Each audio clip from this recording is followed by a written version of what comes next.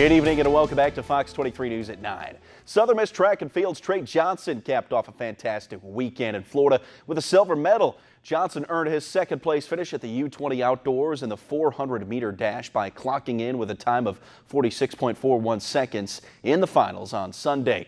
With a silver medal race in the final, Johnson now qualified for the Pan American U20 Championships that'll take place in July.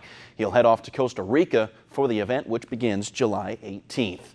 Four-time All-American and former Mississippi State Bulldog Logan Boss will rep the red, white, and blue at the 2019 Pan American Games that kick off in August in Lima, Peru. The decorated SEC champion in the 2018 indoor high jump event will compete in the women's high jump on August the 8th. Competition gets underway that afternoon, right around 2 p.m.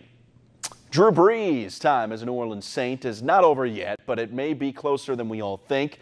With that in mind, Brees welcomed the former Duke star Zion Williamson to New Orleans with a signed and framed jersey with a message that said, passing the torch to you. Who dat? The jersey from Brees, accompanied by a card that read Zion, welcome to the family, let's dance. That's the jersey there. Williamson had previously posted a picture of that jersey on his Instagram, but the video wasn't released until today. The Atlanta Braves got some good news on the injury front today after returning Southpaw Sean Newcomb from his minor league rehabilitation assignment. Newcomb was hit in the head by a line drive last weekend, which led him to a trip on the seven-day concussion list. According to reports, the Braves will ease him along, likely beginning him in bullpen relief. Tiger Woods' name has been dropped from a wrongful death suit and a claim against a Florida restaurant that carries Woods' name. The lawsuit was filed last month by the parents of a bartender who crashed his car and died after being served at the Woods Jupiter restaurant.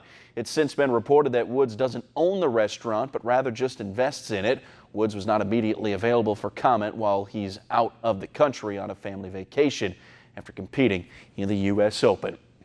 Well, on Monday night, Milwaukee's Giannis Antetokounmpo was named the most valuable player in the NBA, becoming the third youngest to win the award since 1980. The award was the second in Milwaukee Bucks franchise history Giannis joining Kareem Abdul-Jabbar on the exclusive list. The Greek Freak beat out Houston's James Harden and OKC's Paul George for the award. And while some point to Harden's historic scoring numbers, there's no doubting who was on the better team. It was Giannis. He led the Bucks to a 60-win season, tops in the NBA, helping him to bring in 78 of 101 first place votes. Giannis finished the year averaging 27 and a half points, 12 and a half rebounds, and nearly six assists per game, all career highs.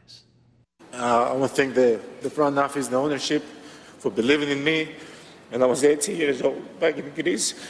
Um, you know, they allowed me uh, to lead this team and trust me.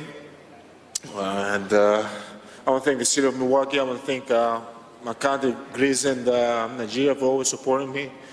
You know, back in Greece, when they watch the game, it's 5 a.m., 6 a.m., so they always stay up and watch the games.